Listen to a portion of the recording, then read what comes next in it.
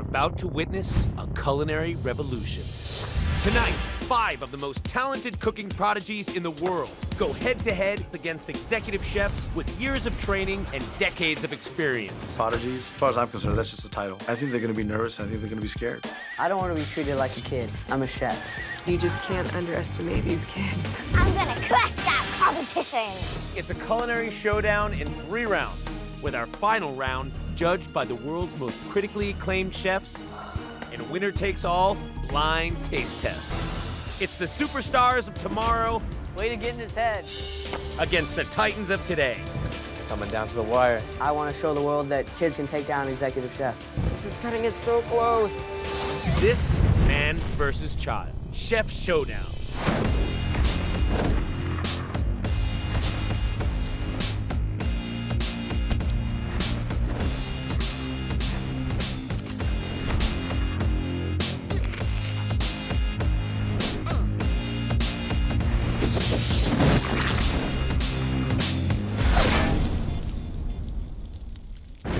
Host, Adam Gertler, and this week it's a culinary showdown in three rounds. Our first judge is chef owner of several restaurants, including Graffiato and Kapnos, Mike Isabella. Our second judge is a butcher and private chef to Hollywood A-listers, Ali Zane. Our next challenger is a six-time winner of the Chef Celebration competition in San Diego. Trained in the classic French tradition, he spent five years in South America finding his own style. I lived primarily in Santiago, Chile. I think when you travel abroad and you see what other people eat, it really opens up your eyes. The fact that these kids are prodigies, as far as I'm concerned, that's just a title. These kids are definitely messing with the wrong chef. I've been cooking longer than some of these kids have been around. Oh, I know I got this. Uh, I wouldn't be here if I didn't think I could win this. Please welcome Chef Augie Saucido. Ah. Prodigies, who's it gonna be? Experience. I really need a big kickstart. Chef Augie definitely has lots of skill. He's award winning. This round's going to be tough. We choose Chef Holden. Chef Holden can really handle somebody very experienced in the first round. So we sent him because we need to let Chef Augie know immediately that we are not playing around. Our next prodigy is an overachiever, some might say. I'm into everything, pretty much. Plays, robotics, cooking, of course. I work really hard to improve myself and be master of many skills. I am not afraid of going bold. Please welcome Chef Holden.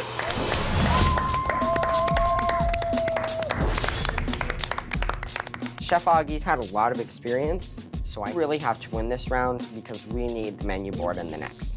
He looks like a smart kid, but he doesn't have the experience, so that's where I have the advantage. This should be a breeze. Welcome to round one, chefs. Like revenge, some dishes are best served cold. Carpaccios, cold soba noodles. There are literally hundreds of dishes that can stand to have a little chillin'. For this challenge, you will have to prepare a cold dish for our judges. Sounds good. A raw dish or a cold dish, if made right, is very flavorful. I'm eager and ready to go. The flavors that people usually get from cooking things and getting color on things is not an option. What really matters is being innovative and creating flavors without heat. And I know my flavors. You want to be able to work with a lot of different things to incorporate the flavor into a cold dish because it does not hold as much flavor as a hot dish. Remember that cold dishes take more salt. Good luck, chefs. This is one cold-blooded challenge, and I really love it. The judges' critique is based on creativity, presentation, adherence to the spirit of the challenge, and of course, taste. They will also allow the chef with the best dish to choose an advantage in the next round. Remember, whoever scores an advantage this round has a better chance of keeping the advantage for the all-important winner-takes-all third round, which will be presented and blind tasted by our master level chefs. Okay, chefs, please take to the burners and prepare to begin your first cook. You have 30 minutes to prepare a cold dish.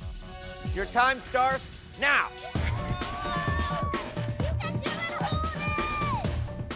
Originally, I started cooking because my dad was in the hotel business. We would always go to new restaurants and find the best food in the LA area, where I discovered steak tartare.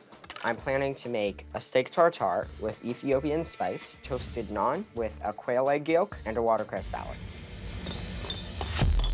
First thing that came to my head immediately was gazpacho. If made right, it's very flavorful, has a lot of ingredients. There's a lot of balance of heat and sweet at the same time. So I take the tomatoes, so just dump them into the blender, blend it, get it into the refrigerator. I've done this before. People have loved this dish in my restaurants that I've served it at. It's a no-brainer. I've got 15 years experience as an executive chef. 30 minutes, really, I mean, if I can't make a gazpacho in 10, maybe I should be one of the kids. To flavor a steak tartare, I put some clarified butter, a mustard seed in a pan, and add heat until the mustard seed starts to pop. Then I take it off the heat and immediately add my Berbere spice. Berbere spice is a mixture of different spices that will give it this Ethiopian flavor. How does it taste? Needs more Berbere spice. We've got to add some crunch and some bite to my gazpacho. So I take some cucumber, I take some apples, and I dice them very, very soft and very, very nice. And I'm going to use it as my garnish. What is that, filet? Yes. Filet mignon, my favorite. I love filet mignon. Yeah, that's my favorite cut. The most important thing when it comes to raw foods is getting the highest quality you can. Fresh ingredients make for the best flavors. It's good that he's killing off the fat. No one wants a chunk of raw fat. I really need to spend as much time as possible to create the perfect cubes. And if it's not perfect, I'm not too happy. So how important is uh, knife work in a good tartare? Very, very, very important. You want everything to be cut perfectly so you get uniform bites all throughout eating the tartare. You want to cut it into like nice small individual pieces so you're not chewing on the meat or just kind of like melts in your mouth. I knew I needed to infuse some heat into the into the gazpacho. Is that sambal? Yes, sir. Chili sambal. I'm giving you a little bit of heat and spice. oh. I use honey, so I wanted to kind of balance out the heat with the sweetness. All right, he's about to puree his soup right now. I puree it just enough so that there's still some crunch and some bite to it. And then I immediately want to get into the refrigerator because it's a cold dish. I need to be able to serve that cold. I really need to make sure that I show off my unique flavors and I don't have any bitterness to my steak tartare. So I'm going to make a watercress salad with watercress, lemon juice, extra virgin olive oil, and a bit of salt. Looks like Chef Augie pulled out some hamachi on his side of the station. Hamachi's a beautiful fish, especially served raw. I wanted to use hamachi because hamachi is very buttery, and I wanted to add that flavor of hamachi to my gazpacho. Traditional beef tartare should be served with bread. My dish is Ethiopian, so I'm thinking naan. I brush on a bit of my clarified butter Berbere spice mixture, then I throw it in the oven. How we doing, Chip Holden? Great. All right, talk to me about what you're working on. A steak tartare with Ethiopian spices. You're saying you're using naan as a bread. Is that traditional? It is not. Non-traditional? Is it more pressure for the prodigies to compete in the first round when you don't really know what kind of competition you're going against? Yes, very much so. Are you feeling the pressure right now? Yes. Chef Augie seems really confident, and he is very fast. I really need to focus on my dish. I do not want to let my team down. Very excited to try your tartare. Thank you. Good luck. You have 11 minutes remaining. Okay. Chef Augie, how are you doing? I'm doing good. This is fun right now. I'm in my element. How is the hamachi playing into the gazpacho? Uh, I'm just going to use that as a garnish on top of the gazpacho. Oh, wonderful. So, yeah, so as you bite into the gazpacho, you'll have some crunch, you'll have some flavor, you'll have some seasoning. It's, it's going to be very nice. How are the chickpeas playing into it? Those aren't chickpeas. Oh, what are those? Those are nuts. oh, those are nuts. Oh, hazelnuts. Hazelnuts, yeah. Okay, those are just for you to snack on. No, I'm hungry. You know, I haven't had breakfast this morning. Wonderful. Very excited to see what you come up with. Thank you. You have eight and a half minutes left, Chef. Good luck. okay, perfect. Thank you. Holden, is your quail egg gonna be raw? Yes, Cool. That's the best. I'm going to use a quail egg as a garnish. I separate the yolk because the yolk will give so much flavor into what's underneath. I'm really looking forward to winning this round. I know if I win this round, it sets the tone, and it's going to give me the menu board, uh, which is something that I really feel I've got to have. Two minutes. Time to be plating. I'm a little bit worried. I'm running low on time. I really need to focus on my dish, or I might not get this done in time. There's really not much left to do, and that's why I kind of wanted to go over and see what the young man was doing. How you doing, man? Fine. I really want to win this, but I'm getting distracted. Are you already done? Yeah, pretty much. Augie's finished early. This guy's good. Very nice. Chef Augie is really confident. Maybe he's being a little too cocky, I don't know. One minute, chefs. One minute. I have to get finished with my plating. But it's really difficult to focus with a really skilled executive chef right next to me. I'm really nervous. I cannot break this yolk because I have no backup plan. Chef Holden's cage visibly rattled. I don't know if we can beat him. He's no joke. One minute, chefs. One minute. I have to get finished with my plating, but it's really difficult to focus with a really skilled executive chef right next to me. I'm really nervous. 30 seconds left. 30 seconds in round one. I had heard something about one of the youngest chefs uh, taking a banana and eating it when she was done early with her dish. So I said, you know what? Let's eat a banana. Esty, You just ate a banana. Did not eat a banana right now. Hey, that's my thing. I'm the banana master. I'm a little worried if Chef Augie can back up all of his confidence. You know, this could be a pretty good competition for us. Five, four, three, two, one. Time's up. Step away from the dishes. My dish is very close to perfection, if not perfection. But I think I've got more ingredients, I've got more components, and in the back of my mind, I'm thinking I've got this. Okay, chefs, please bring your plates up to the judges.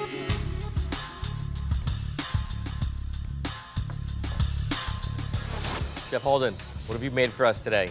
Here I have prepared a steak tartare with Ethiopian spices, toasted naan, and a watercress salad. Thank you, Chef. Chef Holden, I appreciate all the time that you allowed to plate this. You can see all the different elements of the dish. Good job. Everything's clean and tight. Everything looks great. Getting the naan, as well as the watercress salad and the steak tartare should really be a flavorful experience. I just hope it tastes great to the judges. Chef Holden, your knife work was perfect with this dish. Very important with tartare. Kind of took like a classic tartare and you twisted it with the Berbere spice. I will say that you said Berbere, I was expecting like this really intense heat. Taste it, but I want a little bit spicier. Chef Holden, I really enjoyed your dish today. The tartare was cut nice. I love the balance on the salad when you ate it all together. Tartare itself could have used just a little more like creaminess, richness. I know that you had the yolk on top, but it still needed a little plain olive oil. But overall, it's a very good tartare. I didn't want it to be that oily. I really wanted to feature the steak, but he's right. Steak tartares usually have a lot of fat in them. I still think I can win. Chef Augie, what have you made for us today? So I did a vine-ripened tomato gazpacho with hamachi crudo, uh, cucumbers, and apples. Chef Augie, this is a very beautiful presentation. I really like that you kind of have everything centered. I like how you put the bread on the outside for the puree. I'm excited about the hamachi. My general strategy is simplicity. If you keep the dish simple, everything else will just fall in place. And they're gonna love this. Chef Augie, I really enjoyed this dish. You had this little bit of spiciness to it. This was really nice. You had all these different textures going on. You had the fish, you had the, the crunch from the raw veg that you put in there. I wasn't expecting the soup to be quite as sweet as it was. I think if you had maybe left out the honey because you have the sweetness from the apple, I think it would have balanced out perfectly. Chef Augie, I thought the hamachi was so good, and it helped balance everything out. When I got the hamachi and the apples and the, and the gazpacho and I ate it all together, it was a perfect bite. But because the hamachi was just a garnish, when I didn't get it all together, it could be a little bit sweet on your palate. I was kind of offended by that. The whole idea is for you to mix everything and try everything together. So do your job. Chefs, both of these are great examples of two cold dishes. So give me and Ali a minute to discuss. There's clearly three ingredients on his plate, the meat, some bread, and some greens. Any 14-year-old can put that together. This is an easy win. We really have to win this round because we need to show Chef Augie we're for real. We're not your normal throw everything into a bowl kids. Mike, Alia, who gets to pick an advantage from the menu for the next round? We've decided the advantage goes to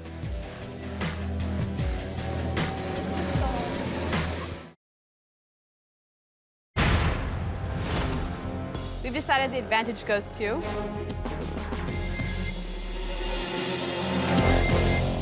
Chef Holden.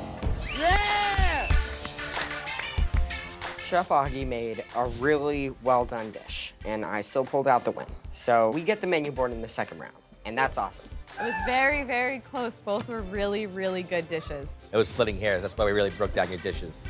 I definitely don't agree with the judge's decision. I was trying to be nice the first round. Now it's going to get ugly. You're probably wondering what round two is all about. Yeah. Mm-hmm. Here on Man vs. Child, we do a lot of challenges with things like caviar, lobster. Caviar, lobster. You love both, I know, Chef Esty. And I love the good stuff, but I was thinking to truly challenge our prodigies and our challenger today, I would make the round two challenge something truly awful. Today's round two challenge is awful. Awful, for lack of a better word, is the guts of an animal. The organ meats and the feets. It's all about the stuff that you would normally throw out. They can look scary, they can look a little bit daunting, but if cooked correctly, all of these ingredients can be very tasty. Make sure you understand which protein you're picking and you understand how to cook it. Thank you, judges. That was awfully good advice. Being an executive chef, you learn to eat everything from the Rudy to the Tootie. I definitely think it gives me an advantage over the kids because I know at that age I'd never worked with anything like that before. Chef Holden, now it's time for the big question. Which one of your teammates will be competing with control of the menu board in round two against Chef Augie? I choose Chef Dylan. Chef Dylan has definitely worked with these meats more than any of the prodigies have. He's a great pick for this challenge. When he's not writing children's books, he likes getting his hands dirty in the kitchen. Growing up on a farm, I have worked with these cuts more than a lot of kids have because my mom loves chicken livers, my grandma loves chicken livers. I am not nervous going up against Chef Augie. He's tough, he knows what he's doing, but I feel like if I just try my best, I can win against him. Please welcome Chef Dylan. I'm looking at him, I'm thinking, man, he seems like a teenager. He doesn't seem like a little kid. Just his kind of demeanor. He acts a little bit older for his age. Let's see what happens. For round two, the menu items are Lifeline. You can ask a judge to provide feedback on one of the components of your dish. Sabotage. Menace your opponent by placing their ingredients back in the pantry as often as you wish. Station vacation. Force your opponent to stop working at any point for five minutes. Chef Dylan, what is your choice? I'm gonna have to go with station vacation. All I have to say is game on. We like that. I like that spirit. I have no problem taking on a challenge. But you know, once you're under the pressure of the gun of timing, you know, that really changes everything. All right, chefs, please take to your burners and prepare to begin your cook. You have 45 minutes to make something truly awful, truly delicious. And your time starts now. In round one, I was definitely trying to play a psychological game with the kids, but uh, these kids are something else. They are smart. They picked up on that real quick. So knowing that I had lost by a smidge, I've got to really uh, use some technique and some experience and put that into play. I've worked with some of this stuff before, not a problem. I'm gonna take something back to the old country days. So for this dish, I plan on doing fried chicken livers, corn and potato succotash, cheesy grits, and bacon smoked collard greens. First thing I do is I grab the chicken livers, because I know that I've got to soak them in some kind of milk, break down the fibers. Growing up on a farm, I am experienced with livers. So for this round, I'm gonna make fried chicken livers with creamed corn and collard greens and hot sauce.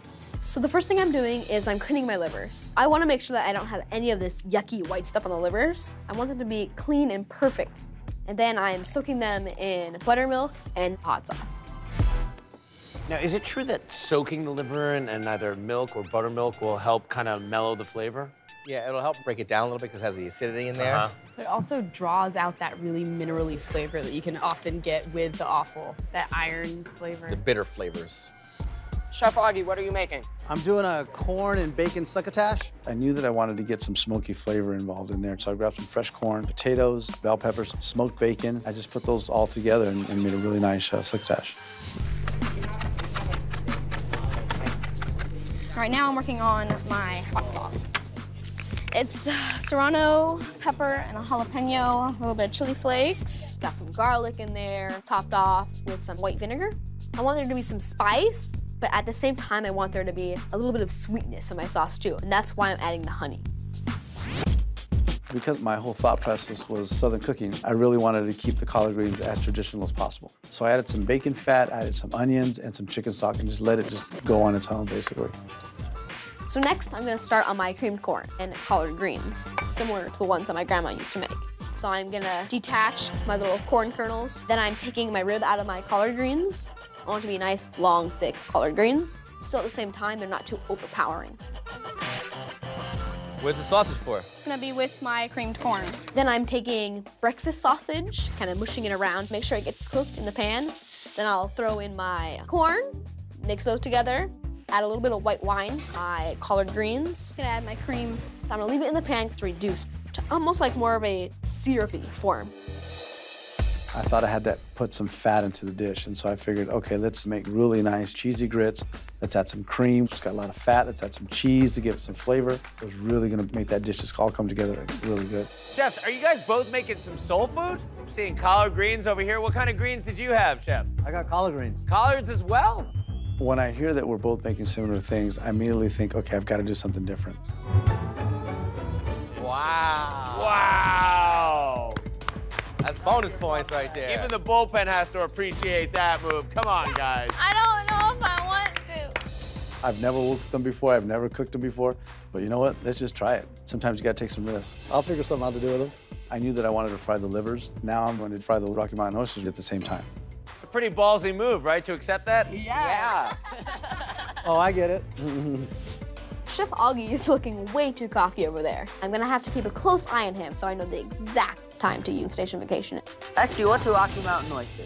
The part of the male caraway, it's how they have babies, so they cut it off, and they and people usually just throw it out and get rid of it. Oh but now my people God. actually use it to cook. Basically, looks like a baggie filled with some gross stuff.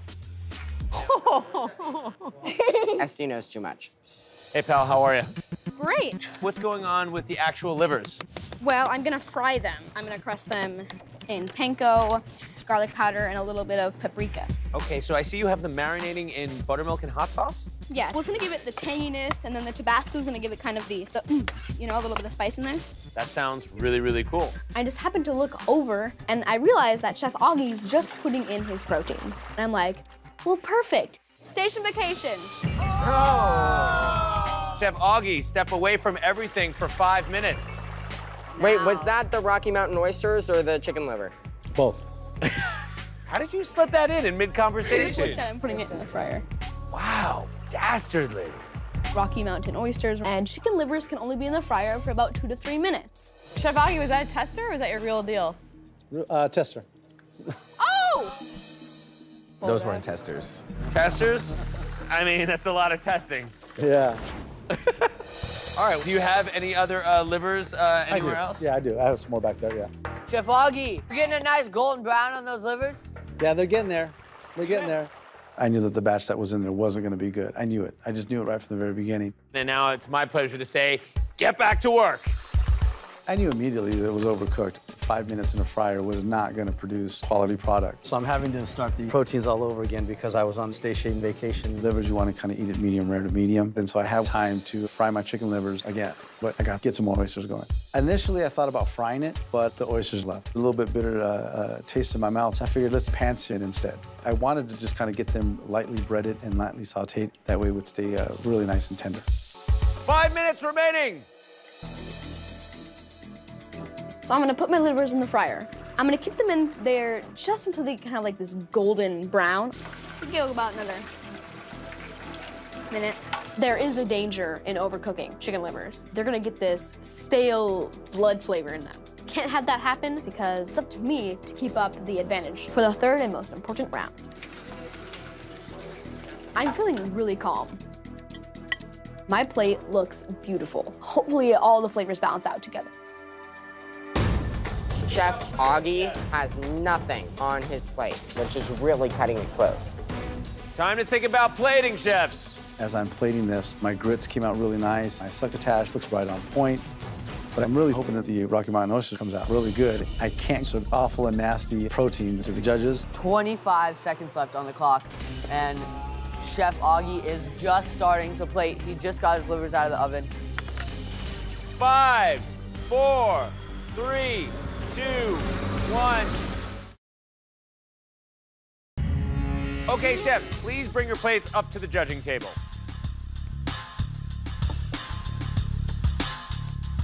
Chef Dylan, please explain what you made for us. I've prepared today fried chicken livers with creamed corn and collard greens with a house-made hot sauce. Chef Dylan, I like your plate. I was hoping for more livers than just two livers. Chef Dylan, this is a very beautiful plate of food. You have a lot of different colors going on, a lot of different textures. I love that you made your own hot sauce. So I'm curious to see how everything comes together. I want my chicken livers to be a star, so hopefully all the flavors balance out together. Well, Chef Dylan, it wasn't awful. It was actually very wonderful. I like the creamed corn. Everything really worked. There's a lot of different flavors, but the liver was definitely overcooked. Okay, this is a bad start. One thing that I gotta commend you on is that you really soak them and marinated them for a long time in the buttermilk and the hot sauce. And all that acid and kind of spice really broke down the livers and drew out that minerally flavor. So cook them for less time and they would have been on point. Thank you. Chef Dylan, I really enjoyed your chili condiment. It wasn't like a classic hot sauce. It was knife cuts of chilies and dried chilies and fresh chilies and acidity. It was very fun, colorful, and brightening. The liver was definitely overcooked. You cooked it for about a little over four minutes. Two to three minutes, nice mid-rare. You'll have the perfect crust to marry the perfect liver. Thank you. Chef Augie, please explain what you made for us today. I did some deep fried chicken livers with sweet corn and potato and bacon succotash, white cheddar grits, and then uh, as a little bonus, I got a little ballsy. and we'll leave it at that. Chef Augie, I think this is a beautiful plate. The livers themselves look nice and crispy. I'm really interested to see how it tastes. Chef Augie, I'm excited that you used pork fries with the chicken livers, so you have two different types of offals.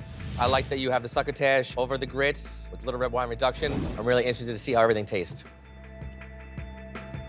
Looks tough to cut. She has to go through it three, four times. Didn't clean the skin. Knowing the flavor profiles that I had on my dish, I definitely beat his. I'm 0-1, I can't go 0-2. Chef Augie, I like the presentation of the dish, and I really enjoyed your succotash. I like the idea of the potatoes with the creamy grits, the nice slow-cooked vegetables, a little smokiness in there. I really enjoyed the end with the sweet red wine reduction. It all made sense. The veal fries weren't cleaned correctly, they weren't cooked correctly. I want a nice Rocky Mountain. I don't want a Rocky Mountain that I'm, you know, chewing on something that I don't really enjoy chewing on and, and didn't have all the correct flavors. You know, again, it's an offal, and if you don't work with it correctly, it doesn't work out, and today it didn't work out. You know, Chef Augie, I really liked where you're going with this dish. Very Southern comfort kind of feel. The technique was off on the veal fries. You definitely want to blanch them first, peel them, draw out some of that awful flavor that they do impart by marinating them first. But everything else I think really worked for me. I really liked the livers. It was a nice crust on the outside. I think if you had just stuck with those and put more of those on the plate, it would have worked really well. Perfect, thank you. I'd never worked with Rocky Mountain oysters before, so I should have just plated it the livers. All right, guys, you presented us two awfully good dishes. Give us a minute to talk. I feel the judges love the plating, but my livers are overcooked. So I'm hoping that I'm safe because they didn't taste that stale bloody taste. Dylan overcooked his liver. My liver was nice and medium, the way you're supposed to eat liver. Hopefully that will be enough to take me over the top. Well, Mike, Alia, who gets to pick an advantage from the menu for the next round? So at the end of the day, we've decided that the advantage goes to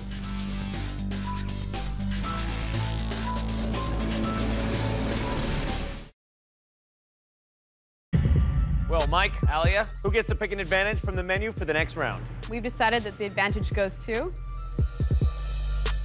Chef Dylan. I'm feeling great. My next teammate's going into round three with another advantage. Good job. Wow, now I'm down 0-2. My back is against the wall. I don't know what to think. As always, the third and final round is a trio challenge, meaning each chef will have to create three different dishes. These dishes will then be tasted blindly by our master level chef. Chef Dylan, your team will compete with control of the menu board. But before we get to that, I'd like to present our master level chef to introduce and judge round three. In 2000, he opened his wildly popular gastropub, Father's Office, where he created the Office Burger and is credited with kicking off the national gourmet burger trend. He's the executive chef and owner of Father's Office and Lukshon. Please welcome Chef Sang Yoon. Following him on Instagram. Chef Sang Yoon, he is award winning. He makes one of the best burgers in California. He's not going to take any mistakes lightly. Chef, if you would please tell us what is our round three trio today? I think we should take a little vacation. Maybe somewhere sunny, tropical. I want you to take me to Hawaii. Yeah. That's a whole pig. Hawaii is such a special place to me. The food and the ingredients are spectacular. The seafood, the Kalua pig, the incredible tropical fruits. I think you're gonna have an amazing time cooking with these beautiful ingredients. All right, chefs, there you have it. It's a Hawaii 3-0. Definitely round two was a little tough, but knowing that I'm going to be using some, some ingredients that I'm familiar with, it should be a breeze. I'm gonna go work on my tan. Good luck. Aloha. We're having a luau. Whoever I pick to go into round three is gonna really have to give their best effort and really impress Chef Sang Yoon. It's time now for the big question. Dylan, which one of your remaining teammates is going to bring it home for the Prodigies in round three? I choose Chef Emily. Chef Emily really likes Hawaiian food, and I feel she might have a couple tricks up her sleeve. She's into theater, musicals, and in the kitchen, she wages battle with the grace of a ballerina. I personally love Hawaiian food, especially ahi poke. It's one of my favorite dishes of all time. This is the perfect challenge for me. Chef Augie has lost round one and two, but I feel like he's not to be underestimated. Please welcome Chef Emily. Yeah! I've got two girls, one's almost as old as Emily is. And I start thinking about my girls and I'm thinking, man, I've got to compete against her. But then the other side of me is like, no, forget about this. You're here to win. For round three, the menu items are prime time. Take 10 minutes off your opponent's cook time. One stop shopping. Your opponent will only be allowed one trip to the pantry. You bet your knife. Pick the one knife your opponent will be allowed to use for the challenge. I have to choose one-stop shopping. Oh man, I've got to be able to get everything I can get in one shopping spree. All right, chefs, please take to the burners and prepare to begin your next cook. Chefs, you have one hour to create a Hawaii-inspired trio. Your dishes will be tasted blindly by Chef Sang Yoon. Remember, this round is for the win. Your time starts now.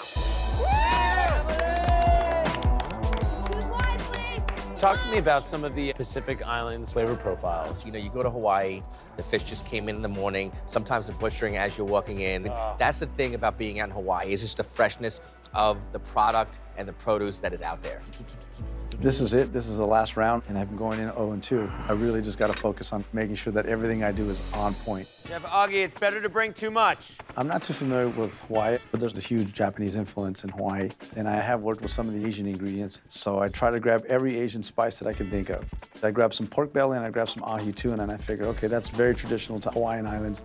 I don't know what I want to do. I kind of figured, let me just grab everything. I'll just think of something pretty much on the fly. How's it feel to have more than one trip to the pantry, Emily? It's a luxury. I love it. I've never been to Hawaii, but I go to Hawaiian restaurants a lot and I learned about Hawaiian cuisine there. For this challenge, I'm going to be making very classic Hawaiian dishes, an ahi poke, a spam loco moco, and a malasada with a coconut whipped cream.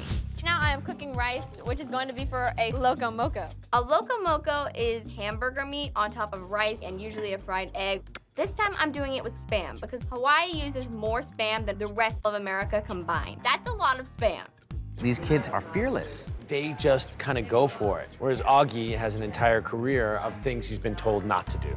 All right, let's do this. One-stop shopping definitely was a wrench in my game, but now I'm eager and ready to go. Chef Augie pretty much raided the pantry of all Asian ingredients. Very smart. And a bunch of pineapples. It's time to figure out what I want to do for the three items that I need on my plate. Let me do the spam, spam, spam, spam, spam, spam. You know what? Let's do a slider with the spam that I had grabbed. Ahi tuna sushi roll and kalbi glazed pork belly. First thing I do is I cut the pork belly up, put it into the bags, and make my kalbi glazed marinade because it's very traditional. Ooh, a little Asian marinade.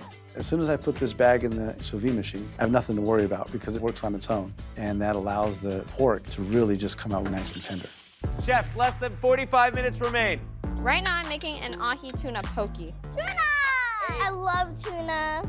Poke is a Hawaiian fish salad. I am doing it with ahi tuna today. Ahi is like the butter of fish. In it I put soy sauce, sesame oil, chili paste, garlic, ginger, and of course ahi. My ahi poke is gonna be sitting on top of a taro root chip. So I slice it nice and thin and I put them in the fryer. I plan on making an ahi tuna sushi roll. I kind of wanted to keep the flavors light, so I add some mango and avocado in there. I think I'm gonna make a relish for the tuna that I have right here. I realized I had in my box some pineapple, and obviously, I mean, that's more Hawaiian than anything else. So let's make a pineapple relish. But I uh, add some peppers to it, and I added some coconut as well. For my loco moco, I wanted to make a gravy that I pour on top of this spam and the rice. So I slice up an onion and put it in some stock. Oh, they're Maui onions. Yeah, I'm using every little detail. I use Maui onion because it's from Maui, so how Hawaiian can you get? You know, Emily is incredibly focused in the kitchen. She holds herself like someone beyond her years. But surprisingly, in subjects like math and science, she struggles. Being gifted in one field doesn't mean you're gifted in all fields. I want to make a coconut rice for the pork belly, and so I started off by browning the rice a little bit with some shallots and some fresh ginger, and then I want to finish it off with the coconut milk. Oh, no can opener. Chef Augie, did you forget a can opener? Yep, sure did. At least it's a sharp knife. Was the sharp knife. Did the bag pop? Look at the water in the circulator. I mean, it's all dirty. I'm just wondering if the bag popped. They didn't seal properly. Oh man, that's my kalbi glaze. Damn it, damn it, damn it, damn it, damn it, damn it. There's water in the bag, so it diluted whatever marinade was in there. Ooh. I know that I don't have enough time to do the sous vide process. So, you know what? I'm gonna kalbi glaze it again, throw it in the oven and braise it, and hope that it comes out nice and tender that way. This is what I do on a daily basis, is putting out fires. It's like knowing how to react. It's time to make my coconut whipped cream for my malasada. I start beating heavy cream with a little bit of coconut extract and powdered sugar. It's gonna add extra Hawaiianness. All right, Emily, what do you got working on here? This is a coconut whipped cream, which is gonna be with the malasada, which is a Hawaiian donut. I've heard of malasada before. I don't think I've ever actually had one, though. They're only in Hawaii, right? I think so, yeah. I need to taste this and see if... It's good. It tastes really good. It's like lick the spoon good. You have 20 minutes, chefs. All right, good luck, Emily. Thanks. All right, this is very cool. What's going on here? You have what looks like a sushi roll, but you're you're pan frying it. Yeah, just really quick. So is that to crisp up the nori? Or Yeah, just that- to give it a nice little crisp, a crunch. Awesome. So, Chef Augie, do you feel like you underestimated the kids a little bit? Uh, yeah, definitely. These kids, uh, they're something, man. All right, good luck. 17 you. minutes left. Thank you, thank you, thank you.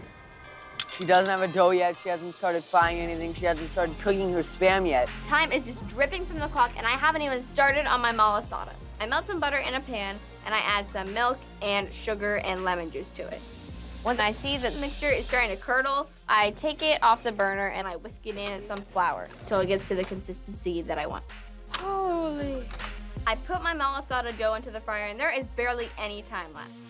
I don't know exactly how long it's gonna take. So, I'm not sure if it's gonna get done in time. Augie, is that a spam what you're working on? That's right. My third dish, I'm making my spam slider. Let's make it something that the chef can grab with his hand. I had a soft wine roll. I'll use fennel because it's crunchy, and I'll mix that with some mango and some chili sambal to give it a little bit of heat, a little bit of spice to it. In the back of my mind, I'm thinking, well, what goes with sliders? French fries go with sliders. Well, I've got my malasada in the fryer. It's time to fry my spam. Now I go to fry my quail egg for my loco moco. Right now, I have a lot of components cooking. I'm starting to get extremely nervous. I'm plating the coconut rice and the pork belly, and I'm excited with the result. It's all or nothing at this point. I'm already down, and I don't like losing because my reputation is at stake. Five minutes, chefs. Five minutes left. I start to plate my loco moco. It looks pretty good. And I plate my ahi poke. It looks amazing and very Hawaiian. But I am still waiting for my malasada. They're not done on the inside. I have to let it cook or it's gonna be raw in the middle, but I'm running out of time and I still have to put it in the sugar. I still have to get my coconut whipped cream. Ah, this is intense. 90 seconds. I don't have any time left. I might only have two dishes. Two dishes down, I am still waiting for my malasada. I have to let it cook or it's gonna be raw in the middle. Just get it on the plate, Emily. I am running out of time. I finally say screw. I pull out one of the malasadas and get it coated in the sugar. Are they cooked? I hope so. Five, four, three, two, one. Step away from the dishes, please.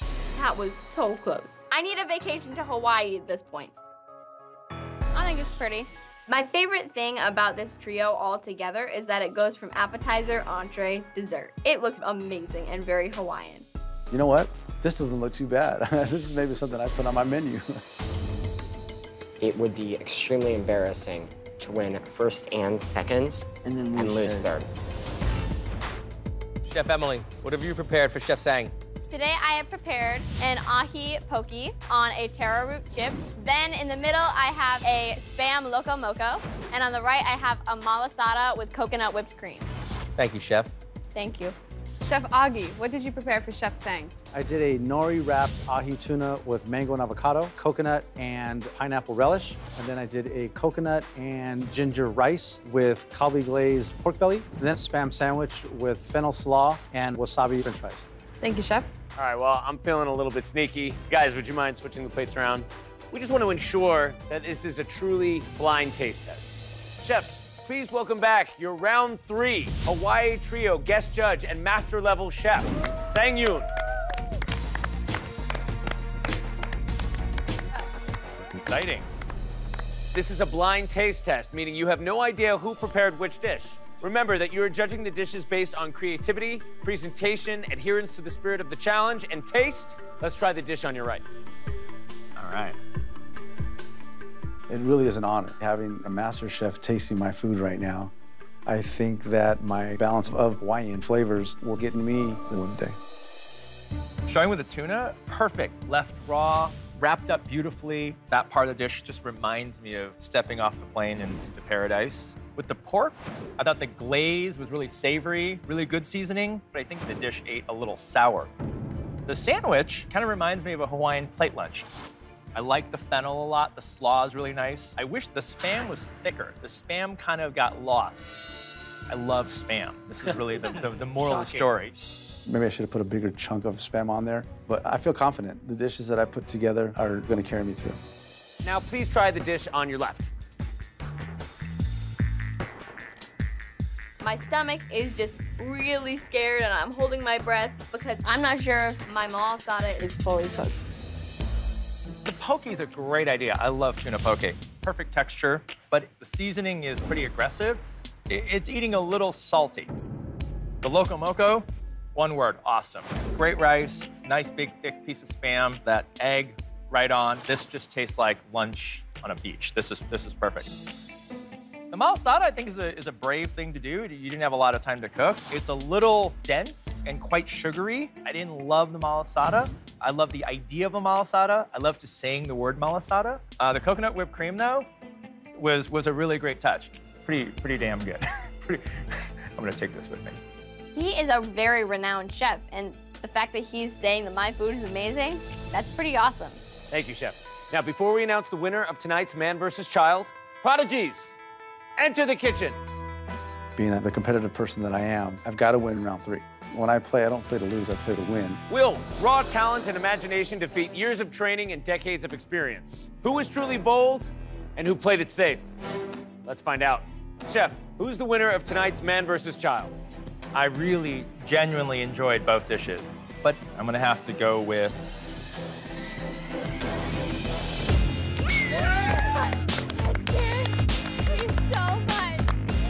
Congratulations, prodigies, you've won. Woo, I did it!